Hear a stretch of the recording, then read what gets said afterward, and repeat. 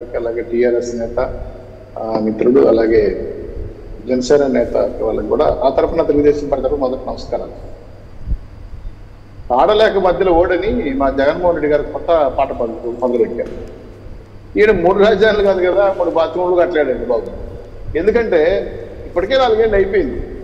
రేపు పదో నెల ఆ, ఈ సంవత్సరం పదో నెల ఎన్నికలు కోట రాబోతాం. ఏప్రిల్ ఎలక్షన్లు వస్తున్నాయి. వీళ్ళకి పీరియడ్ ఆఫ్ టెన్ మంత్స్. ఈ టెన్ మంత్స్ ఎలా అప్పులు చేయాలి ఎలా బురిడిలు కొట్టాలి ఎలా మోసం చేయాలి అనే కార్యక్రమాలు మొదలుపెట్టారు సరే ఈరోజు ప్రతిపక్షాలకు నీరాజం పడుతున్న ప్రజలు చూసి వైసీపీ కార్యాలయం బీటులు బారిపోయి జగన్మోహన్ రెడ్డి గారి పీఠం కదిలిపోతుంటే ఏంటి ఆల్టర్నేటివ్? వాళ్ళ వ్యూహకర్తలో వాళ్ళ యొక్క ఎన్నికల సఫా లిస్టులో కొంతమంది ఉన్నారు. వాళ్ళు కొత్త కొత్త చీకటి జీవోలు రిలీజ్ చేయటం ప్రతిపక్షాల మీద విరుచుకుపడటం రాజధాని విశాఖపట్నం అట. సార్ వర్మ గారు మీరు నాకు తెలిసి ఆ ప్రాంత వాసులు అనుకుంటున్నాను నాకు కరెక్ట్గా తెలియదు ఉమ్మడి రాష్ట్రంలోనే ఉమ్మడి రాష్ట్రంలోనే హైదరాబాద్ తర్వాత విశాఖపట్నం హైయెస్ట్ ట్యాక్స్ పేయర్స్ వీళ్ళు అభివృద్ధి చేసేది ఏం సార్? నాకు అర్థం కాలేదు. ఇది కొత్తనేనా సరే ఉత్తరాంధ్ర అభివృద్ధి మీ పైన పైన చర్చా వేదిక ప్రతిపక్షాలు పెట్టడం కారణం ఏంటంటే ఉత్తరాంధ్ర అభివృద్ధి చేసేది మీరేం చేస్తున్నారు? ఈరోజు ప్రతిపక్షాలు గొంతు నొక్కుతున్నారు జీవోల పేరు మీద.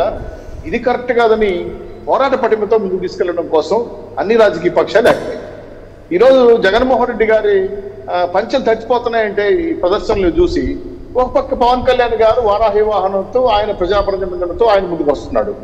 ఇంకో పక్క యువగాళం పేరుతో నారాయణ మన మన నారా లోకేష్ గారు ఆయన స్టార్ట్ చేశారు.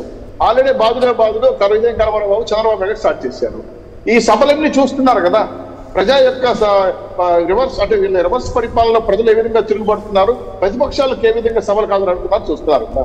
ఇవి చూసిన తర్వాత వీటిని డైవర్ట్ చేయడం కోసం ఏంటంటే ఎక్స్పైర్ అయిపోయిన మంత్రులు అంటే అమర్నాథ్ లాంటి వ్యక్తులు పెద్ద పెద్ద వాళ్ళంతా యోధాని యోధులంతా ఉన్నారు మన యొక్క వైసీపీ. ఎందుకంటే ఆ పార్టీ కూడా ఎక్స్పైర్ అయిపోతాం తొందరలో. అంటే వాళ్ళు ఎక్స్పైర్ అయిపోవడం ఏంటండి? ఆల్రెడీ ఫోర్స్లో ఉన్న మంత్రి కదా అమర్నాథ్ గారు. ఎక్స్పైర్ అయిపోవడం అంటే మాజీ. అయినట్టు మాజీ కాదు కదా ఆయన? ఎక్స్పైర్ అయిపోతున్న మెడిసిన్స్ ఇవన్నీ అయిపోతున్న డేట్ డేట్ దగ్గర పడతారు Hmm. ఎక్స్పైర్ మీది అయిపోతున్న. మెడిసిన్స్ ఈ ప్రభుత్వం మీది అయిపోయింది కదా వీళ్ళందరూ.